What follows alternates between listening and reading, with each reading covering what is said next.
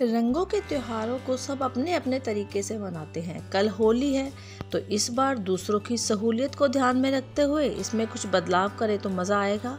तो क्या होना चाहिए इसमें? होली का मज़ा भी हो और कुछ नया भी? सबसे पहले तो स्टॉल्स यानी होली पर नाश्ता बनता ही है तो इस बार नाश्ते को स्टॉल लगाकर परोसें। घर के बाहर लगाएँ, इसमें नाश्ता, पीने का कुछ अच्छी कोल्ड ड्रिंक हो, गुलाल, जल हो, आदि रखें, ताकि जो मिलने आए वो खान पान के साथ होली का लुत्फ भी उठाए और आपका घर भी गंदा ना हो।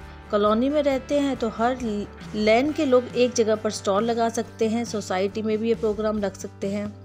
इसके लिए एक टेबल पर अपने सभी घर से नाश्ता ला कर रखें तो इससे और भी प्यार बढ़ता है। इसके अलावा बच्चों का एक अलग से कोना बनाएँ, क्योंकि बच्चों छोटे होते हैं, वो बड़ों के साथ उस तरह से नहीं खेल पाते।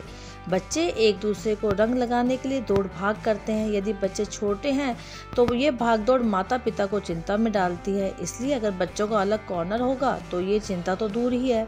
यहाँ अलग अलग रंग के गुलाल आदि की व्यवस्था करें, ताकि बच्चे एक ही साथ, एक ही जगह पर होली का आनंद ले। त्योहारों में अगर गाना ना हो तो त्यौहार कहेगा और वो भी होली। संगीत से त्यौहार को और आनंदमय बनाने के लिए डांस फ्लोर बनाएँ। खास जद्दोजहद की ज़रूरत ही नहीं, बस गार्डन का एक कोना तैयार कर लें, जिसमें संगीत की व्यवस्था और गुलाल रहे। हर गानों की सूची पहले से बनाएँ तो उस समय कुछ सोचना भी नहीं पड़ेगा। इसके अलावा बुज़ुर्गों के लिए भी होली को एक स्पेशल डे मना दें। यानी बच्चे और बड़े होली पर जमकर मज़े करते हैं, पर बुज़ुर्गों के साथ कई तरह की समस्याएँ क्योंकि इसी का कारण वो होली का पूरा लुत्फ भी नहीं ले पाते।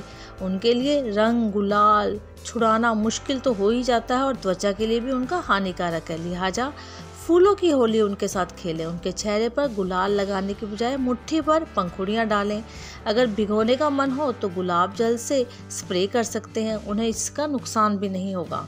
इसके लिए एक सेल्फी कॉर्नर तो बनता ही है। होली की यादगार बनाने के लिए एक फ़ोटो बूथ बनाएँ, ताकि सभी इसे तस्वीरें भी लें और अपनी याद में शामिल कर सकें। बस इस बात का ध्यान रखें कि त्यौहार रंगीन है तो इसे रंगीन तरीके से ही मनाएँ। रंग बिरंगे छातों से, पतंगों से, दुपट्टों से बूथ या ये सेल्फी कॉर्नर आप तैयार कर सकते हैं, जिसमें आप बच्चे भी आपकी मदद बड़े ही चाव से करेंगे। नाश्ते और रंगों की व्यवस्था अलग अलग करें। रंग उड़कर खाने पीने में जा सकते हैं, इसलिए कोने में नाश्ता तो दूसरे में रंग रखें। यानी कि जहाँ पे रंगों की व्यवस्था है और जो नाश्ते की व्यवस्था है वो अलग अलग करें। मोबाइल ख़राब ना हो, इसलिए फ़ोन को जिप लॉक बैग या किसी पैकेट में रखें। सिर्फ़ तस्वीर लेते समय ही हाथों से इसके पकड़ें। आँखों को नुकसान ना पहुँचे, इसके लिए चश्मा लगाकर होली खेल सकते हैं। आँखें रंगों से बच सकती हैं और तस्वीरें भी बढ़िया आएँगी। बुज़ुर्गों के साथ तो ज़बरदस्ती बिल्कुल भी ना करें। पशुओं को रंग कभी ना लगाएँ, क्योंकि इससे उनकी हानि पहुँचती है। तो यदि आपने अपनी होली का रंग और होली का मज़ा दोगुना करना है तो इन बातों का ध्यान रखें, स्टॉल लगाएँ, बच्चों का कोना तैयार करें, डांस फ्लोर, बुज़ुर्गों के लिए अलग व्यवस्था और सेल्फी कॉर्नर और तस्वीरें हमारे साथ साझा भी करें। तो अगर आपको मेरी ये जानकारी पसंद आई, होली की ये बातें पसंद आई तो मेरा हिंदी फाइव यानी डी फाइव हिंदी चैनल ज़रूर सब्सक्राइब करें। धन्यवाद। हैप्पी होली।